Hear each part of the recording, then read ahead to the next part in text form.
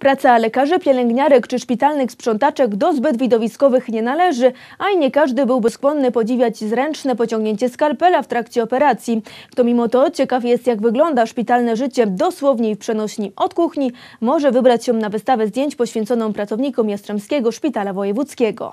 Chirurdzy przy pracy to widok dla ludzi o mocnych nerwach. Co więcej, nawet ci, którzy chcieliby przyjrzeć się ich wprawnym ruchom z bliska, często nie są do takiego widoku dopuszczani. Teraz jest okazja. Stowarzyszenie Fotografików Niezależni zaproponowało e, stworzenie galerii zdjęć. Galerii zdjęć, e, która przedstawia, obrazuje codzienną pracę personelu medycznego w szpitalu.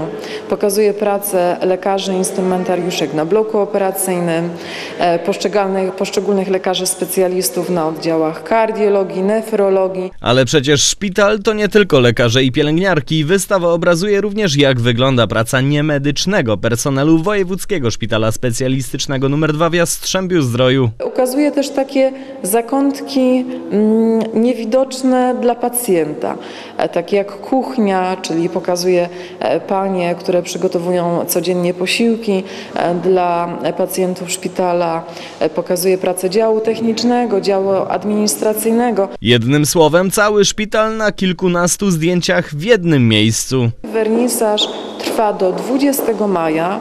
Jest w Galerii Akartus, mieszczącej się w Jastrzębiu Zdroju przy ulicy 11 listopada 2. Wstęp oczywiście wolny, a wystawa jest uwieńczeniem trwających od ubiegłego roku obchodów 40-lecia funkcjonowania Jastrzębskiego Szpitala.